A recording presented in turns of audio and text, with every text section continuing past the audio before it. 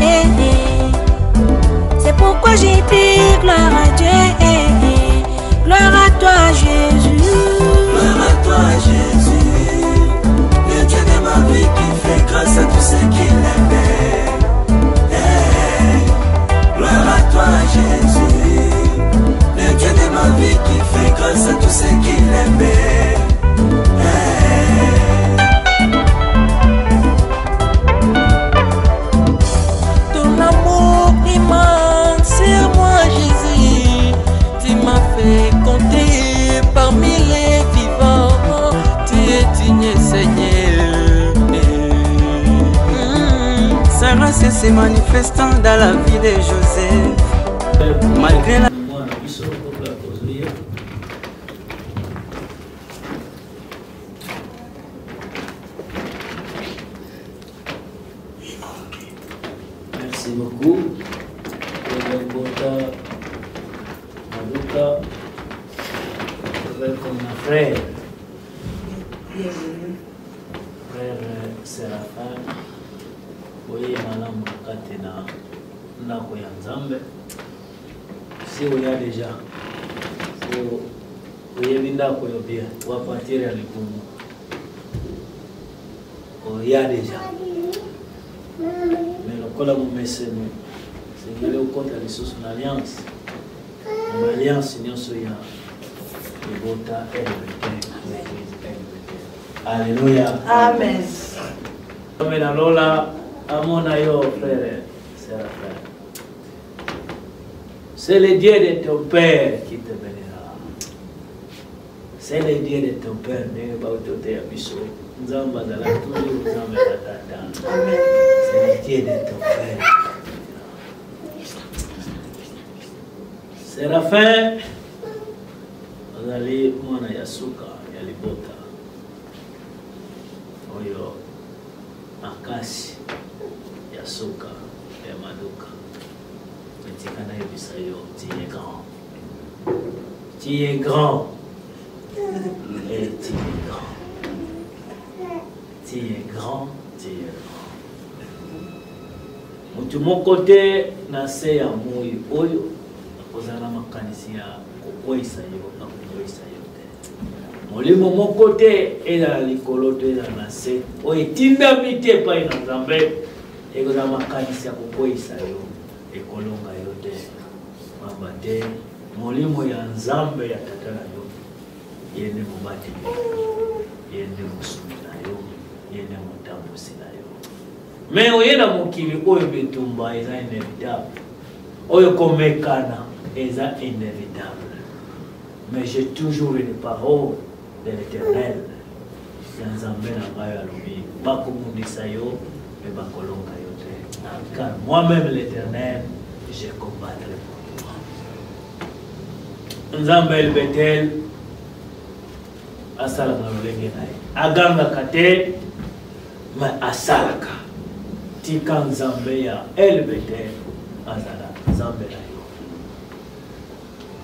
jusqu'à la fin de nos jours ndenge alobi akotika biso te ezala vie na yo akotika yo te biso baparent toza na ebandeli mpe toza na suka ngonga na biso soki ekoki tokokufa mais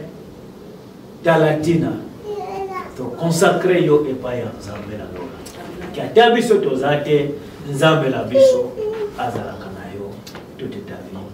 Na nkombo na Yesu Kristo. Tokangi miso tobondela.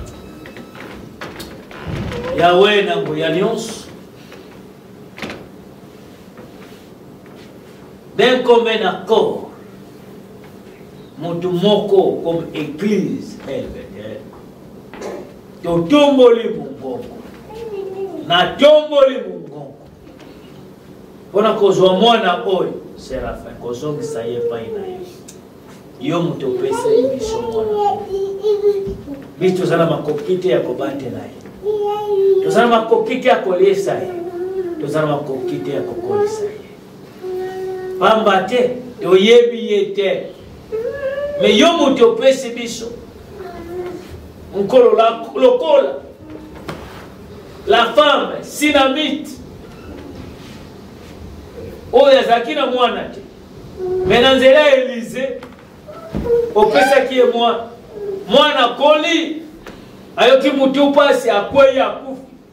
mwasi oyo akimaki mbangu epai ya elize mpo na koloba na ye elize eske nasengaki yo mwana nasengaki yo mwana te pourkoi kotungisa molimo na ngai alors ta parole me dit que elise était obligé abelela yo pote mwana azonga na bobo mwana azongaki na bobo c'est cette parole nde naye liboso na yo nzambe toute la vie ya mwana oyo nzambe soki abeli soki azwi problème tokozala incapable ya kosuka me toyebi eza na motu apesi biso ye ye nde aza capable ya kosuka yango toye na ye epai na yo yo ozala mobateli na ye mosungi na ye motambusi na ye mokolisi na ye zala nzambe na ye pour toute sa vie na nkombo na yesu kristo molimo na yawe yesu kristo zala kati na ye likolo na ye elongo na ye Na nkombo na Yesu Kristo. Nul ne se tiendra devant lui tant que ta parole sera en lui.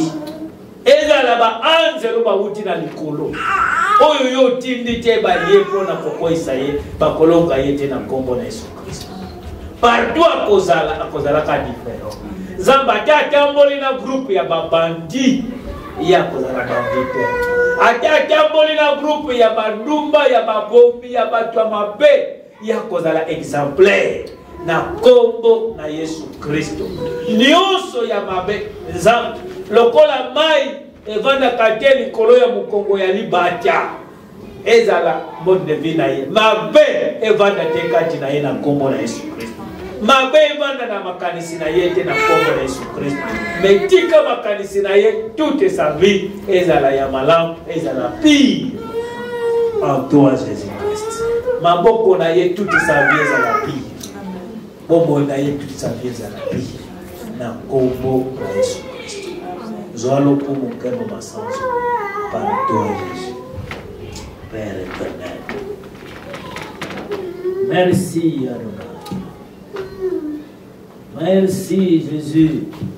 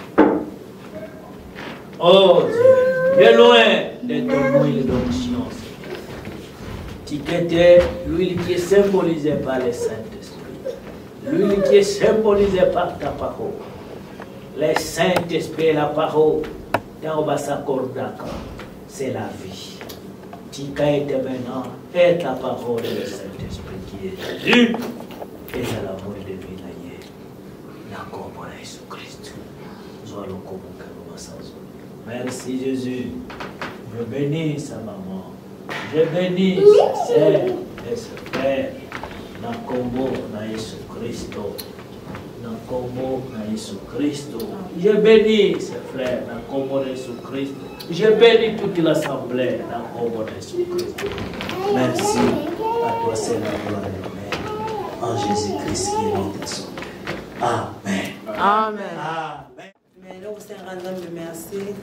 na ndenge apesi biso lisusu gas wana ose ya fin nakala nzambe mingi mpo na biso oki nasenga nzambe abatela ye apesa ye vi ya molai azala mwana oyo akozala exemplaire biloko moto mabe esalamela ye naya kondima te nzambe akobatela ye kino tie moko aolinga mokolo azwa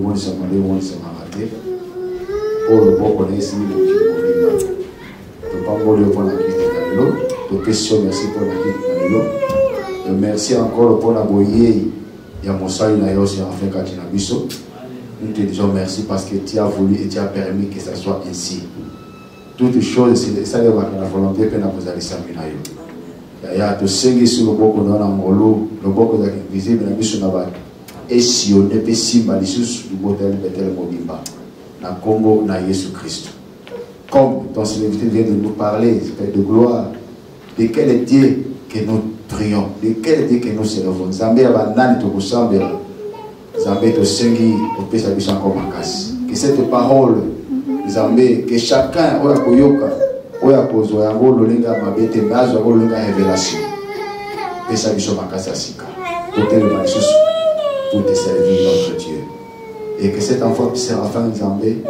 qu'il soit toujours la tête et non la queue. Toute sa vie c'est la tête, tout ce qu'il va toucher. Tout ce qui va passer est de la positive au nom de Jésus.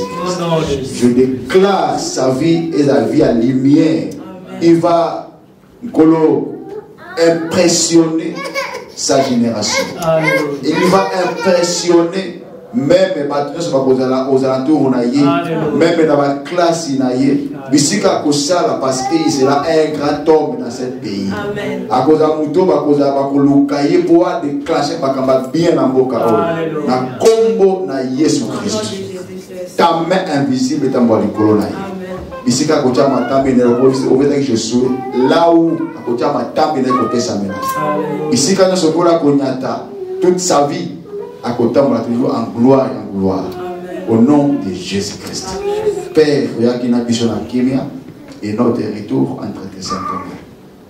esepelisi yo nzambe